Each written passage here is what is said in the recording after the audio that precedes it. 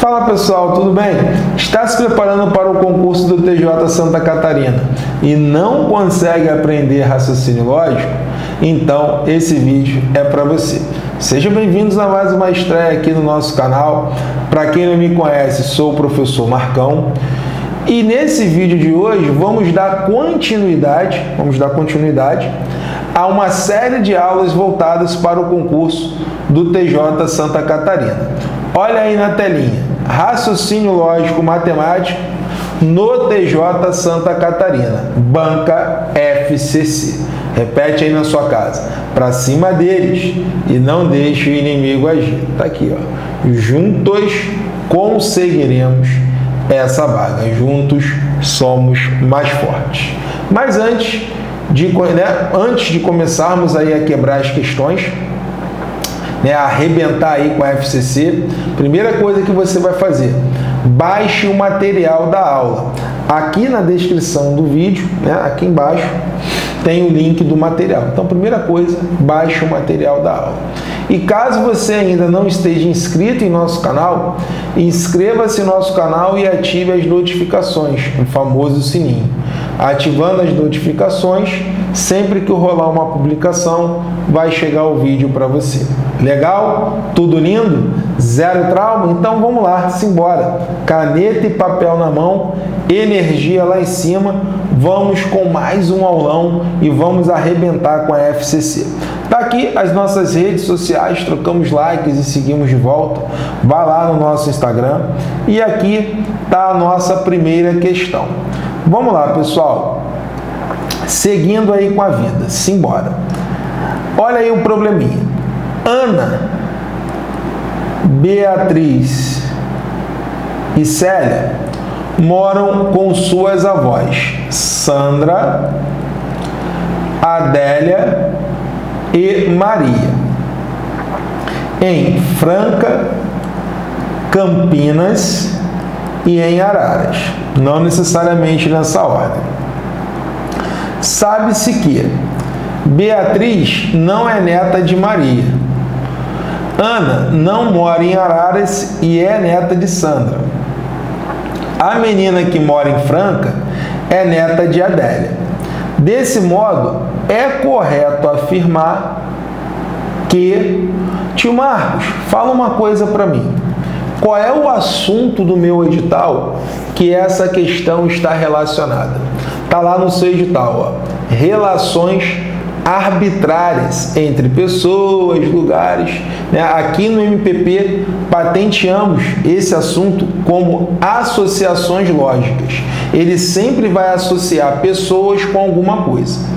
Para facilitar né, a questão, o entendimento da questão, vamos construir uma tabela. E nessa tabela a gente vai correlacionar essas pessoas e assim você vai visualizando na tabela tudo que está acontecendo no problema passo a passo. Então vamos lá, como é que vai ficar a minha tabelinha? Deixa eu sair daqui, senão vai cortar. Vamos lá, primeiro passo é a gente construir essa tabelinha para organizar as informações do problema. Então vamos lá. Vou colocar aqui as meninas na primeira coluna. Ana, Beatriz e Célia. Na parte superior, eu vou colocar as avós, que seria Sandra, Adélia e Maria.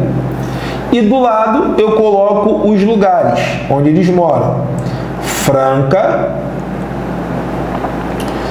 Campinas e Araras. Beleza. Agora eu vou dar Vou tentar aqui montar minha tabela. Vamos lá. Importante é tentar. Vai ficar meio torto. Opa. Aí já é demais. Vai ficar aqui meio torto. Mas a gente tenta. O negócio é montar a tabelinha aqui. Vamos lá. Agora fechou aqui, ó. É porque na prova não vai dar para você ficar também alisando muito, né? Mas está aqui a minha tabela. Sobrevivemos. Vamos lá. Montei aqui a minha tabela. Agora eu vou voltar lá no texto e tudo que for falado eu vou sinalizando aqui na minha tabela. Beleza? Então vamos lá. Beatriz. Ó, Beatriz não é neta de Maria. Aí eu preciso marcar essa informação na tabela. Eu vou correlacionar aqui, ó, Beatriz não é neta, aí marca o x, ó, não é neta de Maria. Beleza? Simbora. Ana não mora em Araras e é neta de Sandra. Aí eu preciso validar, confirmar essa, essa informação. Aí eu uso o ok. Ó. Vamos lá. Ana não mora em Araras. Ó. Aí eu vou usar o x. Ana não mora em Araras. Aqui, ó, marquei o x. Só que ele é neta de Sandra. Então eu vou validar aqui, ó. Ana é neta de Sandra. Ok. Validei aqui a informação. Só que quando eu marco OK, eu tenho que eliminar linha e coluna. Já é automático. Eu elimino linha e coluna. Então, eliminando aqui a linha e a coluna,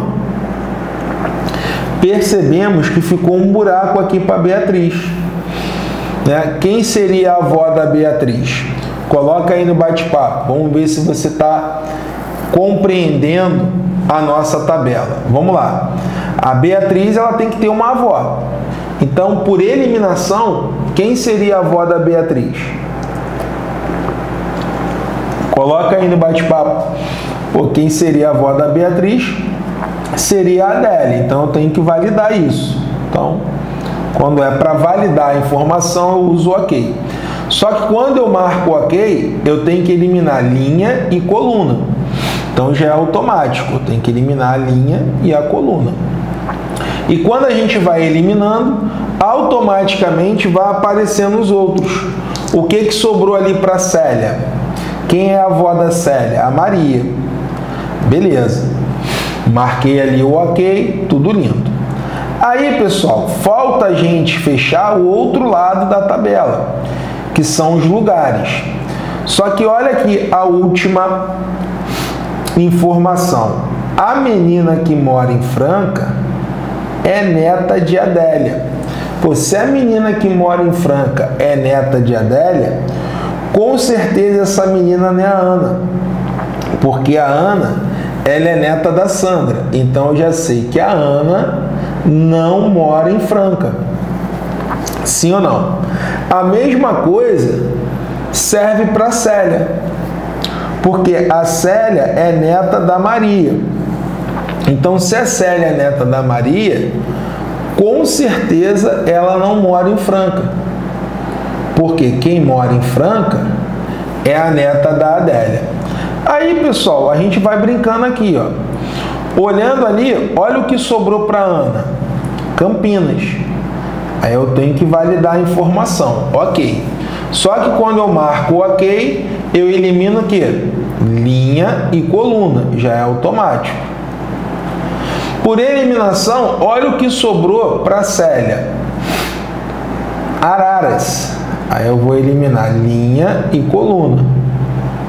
E, consequentemente, para Beatriz sobrou Franca. E é verdade, né? porque a Beatriz é a neta da Adélia. E a neta da Adélia está em Franca. Então, fechou o raciocínio. Está tudo certinho aqui na nossa tabela. Para você não se perder, você já vai criando aqui as situações. Ó. O que, que eu posso falar da Ana? A Ana, ela é neta da Sandra e ela mora em Campinas. Bom, se a Ana mora em Campinas, a Sandra também mora em Campinas. Você não pode esquecer desse detalhe. Beleza? A Ana é neta da Sandra, só que elas moram juntas. Então, se a Ana mora em Campinas, consequentemente a Sandra também mora. Então você já tem que estar com esse raciocínio bem ativo aí na sua mente. Vamos lá, Beatriz, ó, a gente está trocando uma ideia para não ter gritaria lá na frente. Beatriz, ela é neta da Adélia e mora em Franca. Como a neta mora com a avó, qual é o raciocínio lógico? Que a Adélia também mora em Franca. Você tem que estar com isso aí ativo na sua mente. Célia, a Célia é neta da Maria e mora em Araras. Só que a neta mora junto com a avó. Então a Maria, ela também mora em Araras. Fechou o raciocínio? Vamos marcar a opção correta. Maria mora em Campinas? Não. A Maria mora em Araras. Por que, que ela mora em Araras? Porque ela é neta da Célia. Então a letra A está fora. Adélia é a avó de Célia?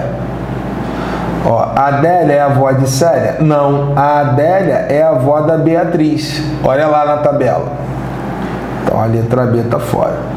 Sandra mora em Franca? Não. A Sandra mora em Campinas. Por quê? Ela é neta da Ana. Então ela mora em Campinas, está fora. Célia mora em Campinas? Aí eu vou analisar aqui, ó. Célia mora em Araras, tá fora. Então, com certeza o nosso gabarito é a letra E. Vamos analisar. Beatriz mora em Franca? Sim. Beatriz mora em Franca, tá certinho ali na tabela. A primeira questãozinha foi para conta e passamos para a próxima questão. Vamos lá, a próxima questão, pessoal, é um raciocínio matemático. Tá legal? É um raciocínio matemático. Você tem que olhar ali dentro daquelas frações o que está acontecendo. Então vamos lá. Ele vai contar uma historinha aqui pra gente. Deixa eu voltar que agora dá para ficar aqui no cantinho. Em 1655, o matemático desenvolveu uma série infinita para o cálculo de π sobre 2, conforme a fórmula, conforme mostra a fórmula abaixo. Com os termos desse produto infinito ordenados exatamente como na fórmula, a fração na posição 50 é Pessoal, vamos lá. As posições de ordem par seguem uma lógica. Pega a visão aqui comigo. Ó primeira, segunda. Ó, a segunda fração é a fração 2 terços. Ó, primeira, segunda, terceira, quarta. A quarta fração é a fração 4 quintos. Tem uma galera que com certeza já pegou a ideia, mas vamos lá. Quinta, sexta, a sexta fração é a fração 6 sétimos. Vê se não segue uma lógica. A oitava fração é a fração 8 nonos. Ou seja, a posição é o numerador e o denominador é o termo sucessor. Então fica muito fácil a lógica, né, de você compreender a lógica. Ó, segunda fração a segunda fração, vou voltar aqui para você entender. A segunda fração é o 2 em cima e o 3 embaixo. Agora eu estou falando uma linguagem menos formal, uma linguagem nossa. A quarta fração é o 4 em cima e o sucessor, e o 5 embaixo. A sexta fração é o 6 em cima e o sucessor, o 7 embaixo. A oitava fração é o 8 em cima e o sucessor, e o 9 embaixo.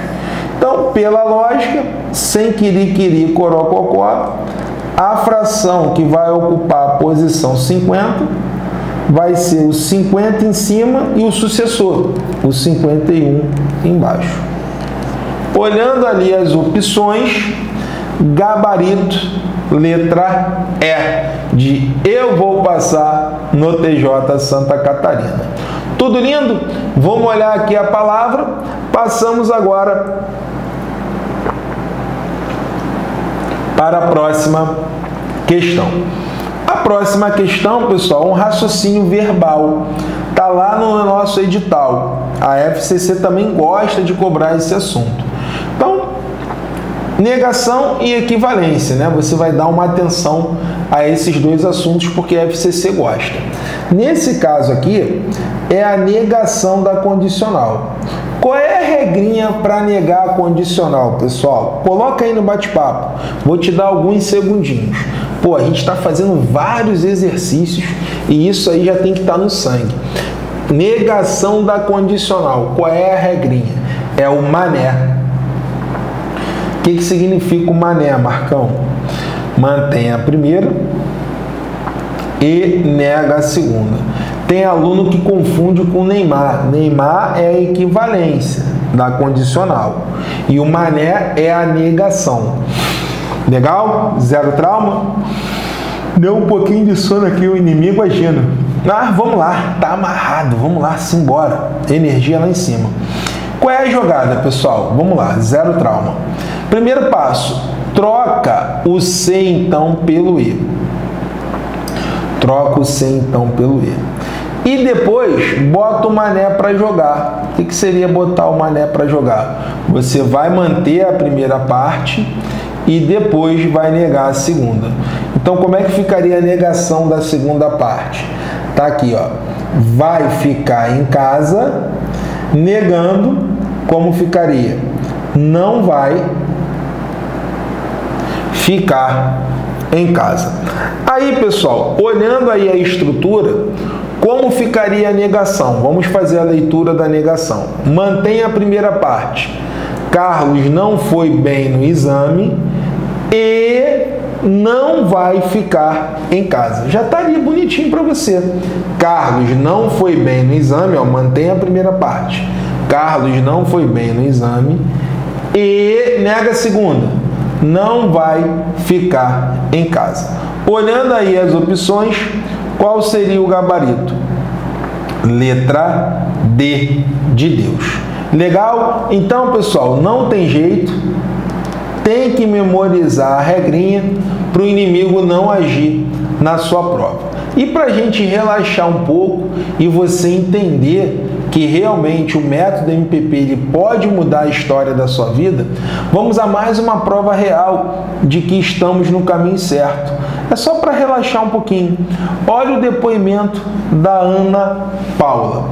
Vamos lá. Boa tarde, professores. Há pouco tempo comecei a fazer concursos.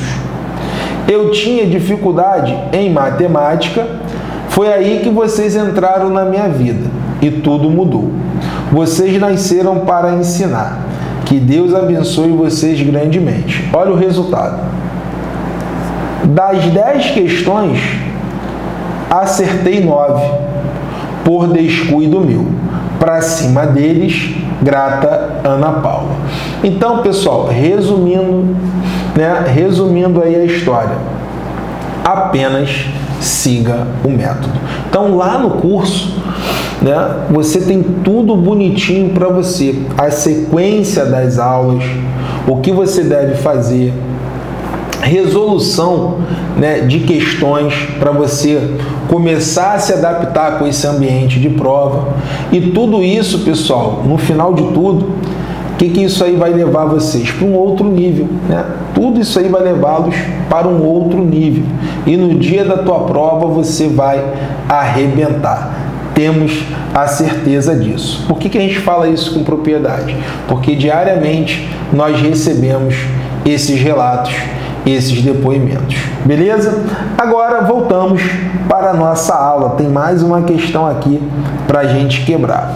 Olha que questão bacana de orientação temporal, o famoso calendário. Vamos lá. No ano de 2007, o ano de 2007 tem 365 dias. O primeiro dia de 2007 caiu numa segunda. Logo, neste ano, o dia de Natal cairá numa. Então, pessoal, para você entender a questão, vamos trocar uma ideia. O mesmo dia da semana que cai o ano novo é o mesmo dia da semana que cai o Natal. Por mais que o ano novo já esteja em outro ano, ó, ano novo, né? já está no outro ano, mas o dia da semana é o mesmo. Então, por exemplo, se o ano novo caiu numa quarta, o Natal também cai na quarta. Independente que já estejamos no outro ano, que a gente esteja no outro ano, isso pouco importa. Mas a ideia é essa, é só você olhar aí no calendário, na sua casa. O mesmo dia da semana que cai o Natal é o mesmo dia da semana que cai o Ano Novo. Então, se o Ano Novo caiu na quinta, o Natal, 25, também caiu na quinta.